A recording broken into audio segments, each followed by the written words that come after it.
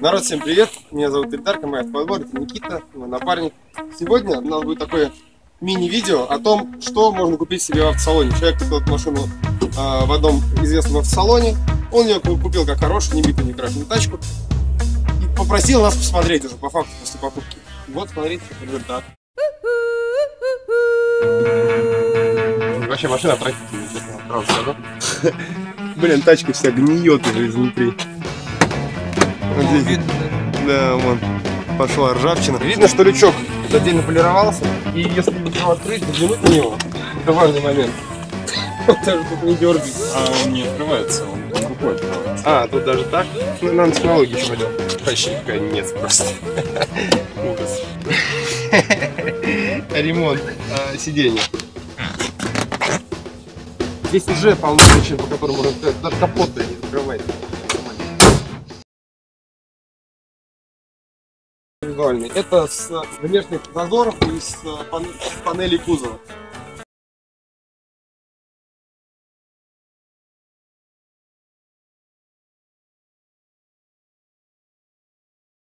С провалом посередине, то есть угол, передний угол, задний нормальный, в середине провал.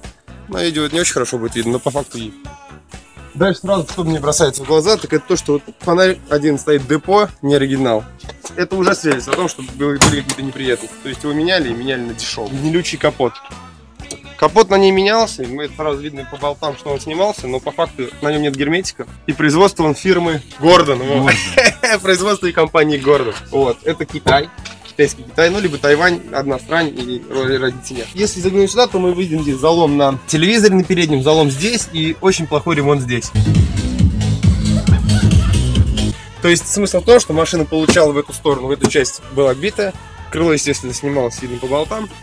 И, соответственно, здесь все вытянули отвратительно, даже менять ничего не стали. Телевизор, его просто вытянули, поставили криво. Э, Соответственно, вытянули криво. Ну, это ладно, это вопрос номер два, это тоже не очень страшно. Еще не доставая прибора, я бы посмотрел салон.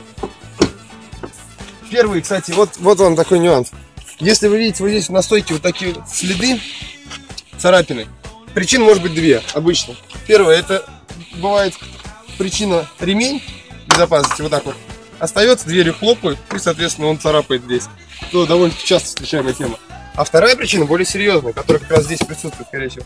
В момент удара перед дверь подвинул назад, и она уперлась вот сюда в стойку. Ее зажало. в стойку. Соответственно, на двери должны быть ответные части. Ответный ход. Так как это Hyundai, кожа здесь, ну, сиденье конченая, сама по себе с завода дешевая и убогая, и поэтому такого плана дырки и ремонты довольно часто встречаются. Явно стрелявшая подушка безопасности. Если вы видите, вот она, она вклеивалась сюда уже. Соответственно, вот она здесь приклеена снизу. Крышка ее. Скорее всего, ее посадили на ПВА. О! Сломанный пластик. Интересно. Я бы заглянул. Если я вижу какие-то, например, э, моменты неприятные вообще в автомобиле, я стараюсь докопаться сразу в этом месте как можно глубже. Вот здесь я увидел поломанный пластик на, а, соответственно, боковушку пластиковую поломанную. Соответственно, сразу я первое, что я делаю, это я начинаю смотреть герметик. А, Начинаю смотреть, не менялось ли, не резалось ли крыло. Все это, причем я делаю без прибора. Для начала я все делаю без прибора. Потому что это становится, потому что многое понятно и без этого. А Следующий момент именно подушки безопасности. Так мы увидели, что одна подушка скорее всего стреляла. Видно всегда следы, снималась подушка или нет. Здесь, например, отсутствуют заглушки. Это колхозное снятие. По одному, конечно, каждый из этих пунктов может быть не сильно важен, но в сумме они дают именно это. Затертый напрочь руль. Какого такого бреда я не слышу. Сказать, человек ездил там, руки у него грубые или еще что-то. Здесь явный пробег, ну, тысяч, в районе 200 на этой машине, просто потому что кожа, кожа на руле кончена. И никакими, никакими кольцами до такого состояния не до- не довести. А Важным моментом является проверка, проверка работоспособности системы аэрбэга. Для этого просто достаточно включить зажигание и посмотреть на лампочку. Для начала. Итак, если мы включаем зажигание здесь, видим, лампочка airbag загорается. А, но есть такой тонкий нюанс, который понимают не все. Лампочка airbag должна загораться и гаснуть. Соответственно, раз она не гаснет здесь, пока машина не запущена, то два варианта у нас. Либо это ошибка, либо она, соответственно, э, сделана колхозная, эта лампочка, чтобы ее затушить, чтобы она не горела. Если, бы, если будет ошибка, то есть, когда мы машину заведем, она не должна гаснуть. Здесь же мы машину завели, лампочка погасла. Тонкий момент. Лампочка погасла, и сейчас загорится опять. Оп. Вот такой интересный момент. Если вы разбираетесь в автомобилях, то вы поймете сейчас, в чем дело. Например, эти лампочки параллелят с чем-то другим. Чтобы она загоралась и гасла, ее просто запараллелили с другой лампочкой из комбинации приборов, и, соответственно, она вместе не загорается и гаснет. Дальше, теперь мы смотрим, с какой лампочкой ее запараллелили. Выключаем зажигание, включаем, смотрим. Вот лампочка АБС. Погасла. Airbag горит. Угу. Лампочка чека. Может быть, с лампочкой чека ее запараллелили? Или, например, с лампочкой аккумулятора. Можно посмотреть. Машину заводим. Оп, а Airbag гаснет явно раньше лампочки аккумулятора и раньше лампочки чека. И потом лампочки горят, а airbag до сих пор не горит. Ага. Опять. Это прям смешно. В общем, я расскажу, на самом деле. На этой машине явно видно, что ее запараллелили с лампочкой давления масла. Потому что именно себя так ведет лампочка давления масла. То есть после запуска она гаснет практически сразу, когда появляется давление. Но загорается, если машину заглушить и включить зажигание, не сразу. Именно потому, что давление масла еще, скажем так, остаточное остается. Это ужас просто. Причем самой лампочки давления масла, если вы видите, ее здесь нет просто. Ее отключили, и вместо нее подключили airbag. Многие люди, кто не разбирается, как проверять кондей, они делают так. Они просто садятся и начинают щупать, будет ли отсюда холодный воздух или нет. Это неправильный подход. Потому что если кондей слабо заправлен, у вас будет дуть еле прохладно, но вы можете этого не почувствовать. Есть три способа, как не трогая и не смотря там, дует ли он, проверить его работоспособность. Первое. Самый надежный способ узнать. Всегда у кондиционера на любом автомобиле, они работают по одному и тому же принципу, есть две трубки. Трубка высокого давления и трубка низкого давления. И при запуске кондиционера всегда есть разница температур. Если на улице ниже 5 градусов, то кондей не включится. А, если на улице выше 5 градусов, соответственно, то вы всегда почувствуете разницу в температурах. Просто кладете два пальца на трубки, один палец на тонкую, другой на толстую трубку. Включаете кондей и чувствуете разницу. Здесь будет идти теплое, теплый фреон, эта трубка станет теплой. Большая трубка станет холодной. Это принцип работы кондиционера, от него никуда не деться. На любой машине по факту будет именно так. Следующий момент есть муфта.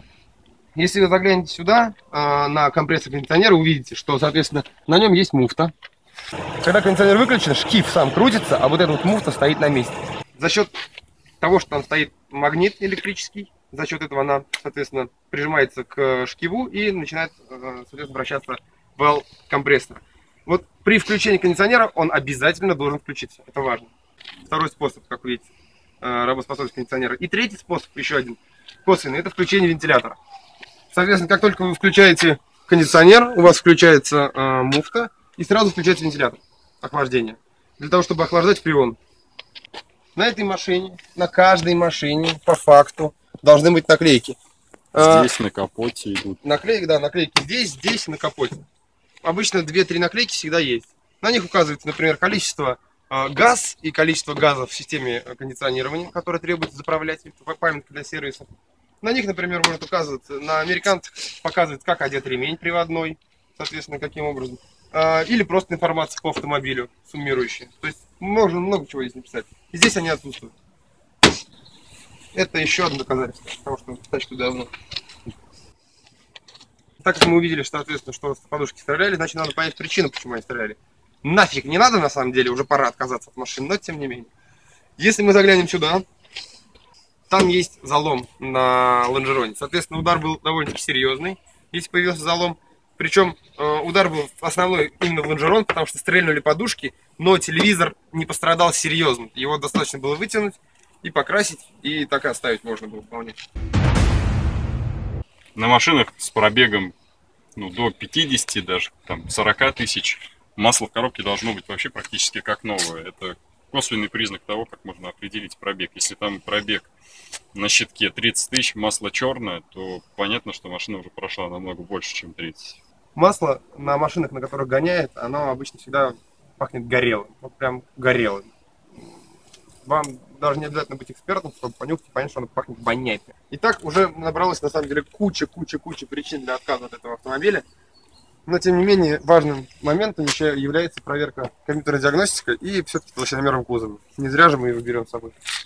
Пока Никита проверяет кузов, э, я хотел бы сказать, важным моментом, когда вы покупаете автомобиль э, на полном приводе, обязательно надо поднимать его на подъеме смотреть именно полный привод. Так как у вас очень много элементов, которые вы не увидите визуально, не заглянув под автомобиль. Например, раздатка, карданы, редуктор, привода. Все это очень тяжело увидеть, не, скажем так, поднимая машину. Потому что на полном приводе задняя подвеска почти всегда многорычажка. Соответственно, в сальном блоке верхний посмотреть не получится. Заглянуть под машину и посмотреть. Поэтому такие машины мы всегда поднимаем на подъемник. Это мы поднимать не будем, потому что мы и так от нее уже отказались. Хозяин на самом деле плачет, стоит просто рядом, и не видит. Я уже не раз видел таких, как я их называю, ходячие толщиномеры, говноэксперт, который проверяет машину так. Подошел, такой, ткнул, ага, ага, ага, ага. Посмотрел прибором? Класс. А то, что у меня, к примеру, порог был в салоне, да, вот здесь, блин, все двери, вот начиная отсюда, и вот вниз все шпаклевки слеплены, он этого не увидит.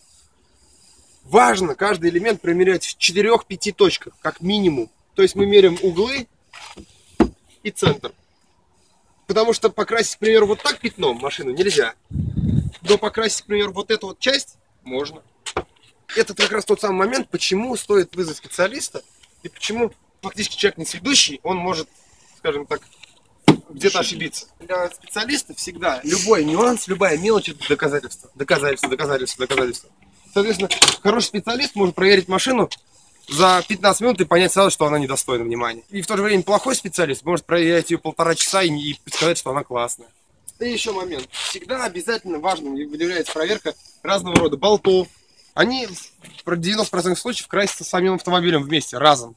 И, соответственно, они покрашены залитой краской, и в случае, если они откручиваются, на них срывается краска. Это видно тоже. Если посмотреть на болтики, видно, что он скручивался. Соответственно, это делается для того, чтобы подбирать краску, в первую очередь. И бывают еще вот эти вот штуки на бензобаке, вот эти вот держаки, они... Бывает у них крепление сломано, это тоже явное следствие того, что его снимали. Причем похабно.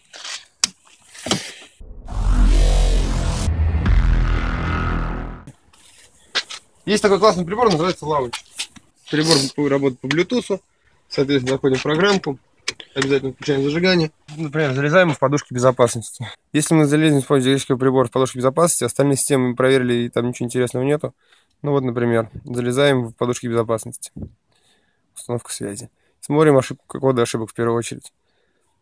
Соответственно, в нормальной системе их не должно быть. Ну или максимум там одна-две ошибки по какой-нибудь ерунде, типа напряжению.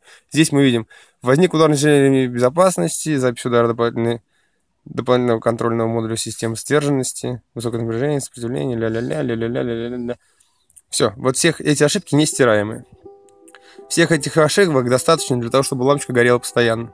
Что она и делает, так как она отключена, ну, соответственно, мы ее не видим.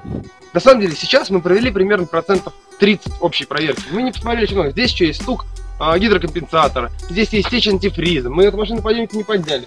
Здесь есть много-много-много-много нюансов, которые мы еще не показали, не увидели, но мы уже увидели достаточно принцип для того, чтобы отказаться от этой машины. Не пытайтесь экономить какие-то копейки, потому что если вы купите вот такой вот автомобиль за 400 тысяч рублей, то впору лезть в петлю, потому что он убогий.